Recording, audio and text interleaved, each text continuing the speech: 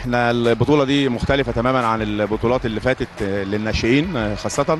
طبعا إحنا نهينا آه، موسم الكبار في شهر أربعة بفوز نادي الرواد بالمركز الأول وفوز نادي هليوبلس بالمركز الثاني ويليه مرك... المركز الثالث نادي الزهور في الكبار البطولة دي النهارده مختلفة تماما الناشئين آه، المستوى الفني رائع جدا للأندية المشاركة.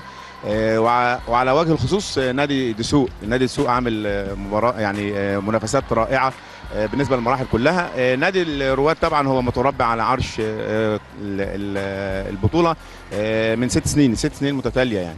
فنادي السوق السنة دي بينافس طبعا نادي الرواد على المركز الأول ويكاد يعني آه، يعني يكون آه، آه، تعادلوا في النقاط هو ونادي الرواد. لكن هنشوف الحسم لجنة المسابقات هت- هتحسمها يعني مين أول الجمهوريه ومين الثاني آه، شارك في البطولة حوالي 21 هيئة من آه، بيمثلوا 16 منطقة على مستوى الاتحاد 850 آه، لاعب آه، ولاعبه بالنسبة للأهميات عندنا بطولة عربية آه، وإفريقية في آه، تونس وعندنا آه، استعداداتنا برضو بنستعد إن إحنا مصر هتنظم بطولة العالم آه، لكرة السرعة السنة دي في شهر 10 آه، عندنا طبعا آه، منافسات اللعيبة ما شاء الله مهاريا عالية جدا وده بيريحنا كتير في في المنتخب. آه، بيخشوا بعد كده في آه، بنعمل لهم تصفيات بعد انتهاء أول بطولة تصنيف في شهر سبعة.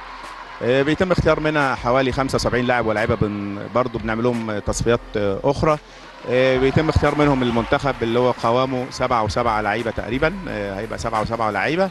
وإن شاء الله بإذن الله يعني مصر تفوز لأن مصر ليها الريادة دايما في بطولات العالم. بقالنا ست سنين بناخدها على التوالي ودي أول سنة للأسف تسوق آه، كسبانين بأربع نقط لغاية دلوقتي معتمدين على الماتش الأخير. بس إن شاء الله في الخير ربنا يكتبه لنا يعني. الحمد لله كان بقالي كذا موسم إصابات وكده. النهارده أو الس- ال season ده أول موسم أرجعه. والحمد لله خدت خمسة دهب واثنين برونز وكأس أفضل لاعب. وإن شاء الله اللي جاي أحسن يعني. حقيقي زمان ما كناش نسمع عن كرة السرعة. حتى نسال الناس تعرف كرة السرعة. لا ما أعرفهاش. دلوقتي بدأت تظهر كتير في ال social media. في كذا channel موجودة. فإن شاء الله تبقى أولمبية. كمان في خبر إن هي تبقى في 2027 رسمية لعبة رسمية في دورة الألعاب الأفريقية. وإن شاء الله تبقى أولمبية بعدها. النهارده بجد البطولة كانت صعبة ان تيجي. وفعلا إحنا عملنا اللي علينا وزيادة وربنا كرمنا الحمد لله. البطولة بجد أنا النهارده السنة دي ما قصرتش خالص. أخدت خمس ميداليات ذهب وواحدة برونز. ميداليات كلها كانت مهمة. آه، بس الحمد لله يعني ربنا وفقنا كلنا. إحنا الحمد لله حصلنا على المركز الثاني على فرق بسيط جدا والموسم كان صعب جدا بس الحمد لله يعني. آه، الحمد لله تالت سولو أول فردي أول رباعي بنات أول تتابع بنات.